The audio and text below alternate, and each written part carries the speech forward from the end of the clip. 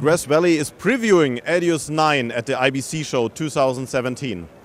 Alex, what's new in Edius 9? Oh, well, uh, we have a lot of new things um, planned for 9 uh, in the in the 9 lifetime. And uh, we are just uh, announcing 9.0 with uh, new features, uh, mainly for the HDR capabilities. So it will support native HDR color space in the project so where it used to be supporting uh, only up to Rec 709, now we will support BT 2020 as a native uh, color space inside the project. Also, when exporting uh, files, uh, we will support exporting HDR uh, metadata.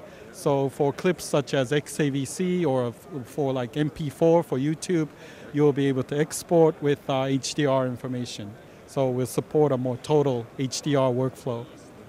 So typically for cameras like uh, the, the Sony Z150 or FS5 which now have native HDR um, support with the latest firmware, these files are recognized directly in Edius. Yes, so they are recognized automatically and also handled natively within Edius and then also exported also in its native color space. So we'll support a true uh, workflow.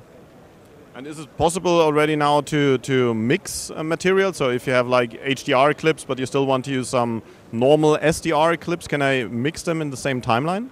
Yes, so as you did before with the uh, primary color collection filter, you'll be able to apply this filter to individual clips to adjust it to your destination color format. So you'll be able to adjust those separately and mix and then export out in one uh, defined format.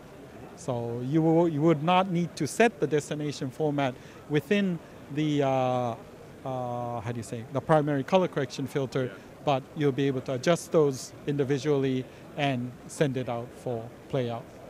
So now Edius really offers, uh, yeah, not only HDR but also different color spaces in the project setting. I can really choose different color spaces uh, like uh, the new one? Yeah, basically in the project setting, it would be either uh, in BT 2020 or yeah. BT 2020 in PQ or HLG uh, as, yeah. a, as a gamma curve. Mm -hmm. So that would be the basic project settings yeah. to, uh, uh, that you'll be allowed to set.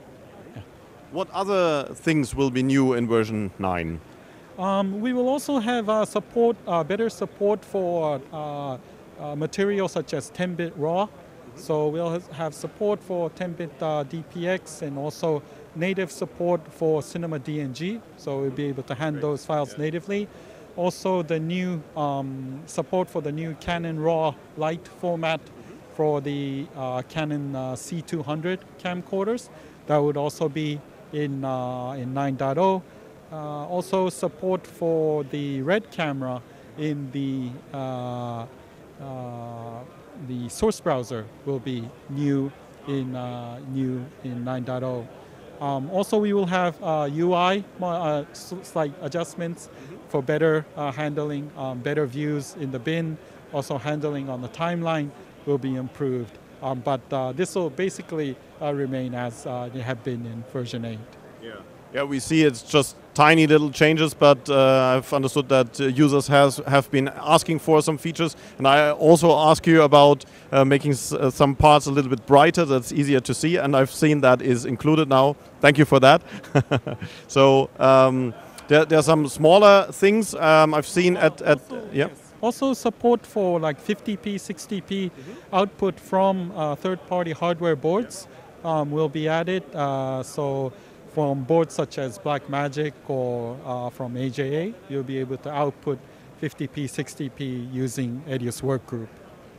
Yeah, that is really something big new um, because before there was a, a, kind of limitation that even if you had a hardware which was capable of outputting 50p in Ultra HD, uh, it was blocked in a way. Now this is, is open in the workgroup version. Mm -hmm. Yes, that's correct.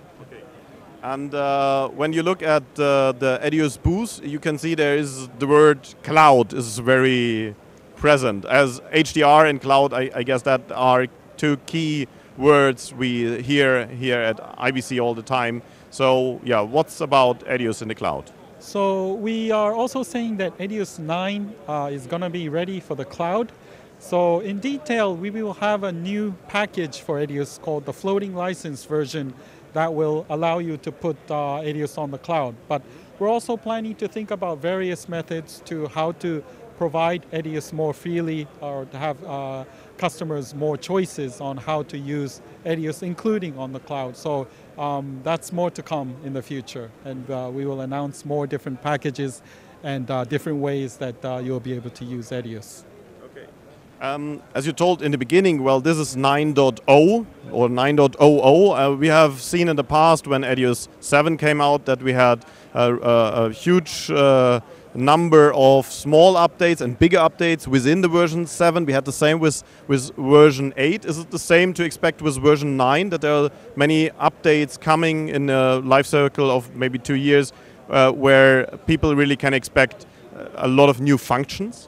Yes, so we're, we're planning to keep the same pace. Uh, we'll probably release um, new updates every couple of months, and we plan to release a lot more new features in the 9.0 lifetime. So the things that we already mentioned for version 8, such as support for uh, closed caption or background rendering or more uh, functionalities in the motion tracking or things like that, we are planning to include in the future versions of 9.0.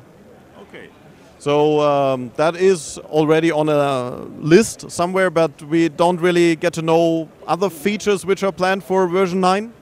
Yeah, so we're planning to uh, have a method. We're planning to update our Edius World website for more better info, uh, how do you say, availability, so that we can be more closer to uh, to show like what's coming up or what's new that's coming up in the future. Are there some keywords, uh, like there are some areas where Edius 9 maybe could have more possibilities in the future uh, regarding maybe color correction or, or, things like that? Is there something you can say? So definitely HDR is a key item that we will continue to update. Yeah. And uh, this is just the beginning. Um, we're planning to update it with better uh, ways to uh, configure and also set and to be able to automate the whole uh, HDR editing process. So yeah, a lot of those are planned to come in the future. Okay, so that's exciting, and it will uh, be exciting in the future as well when we can see uh, even more. But here at IBC, we see a lot of uh, things which really absolutely make sense and are, um, uh, yeah, uh, uh, looking very good. So thank you very much for your time, and have a great IBC. Thank you very much.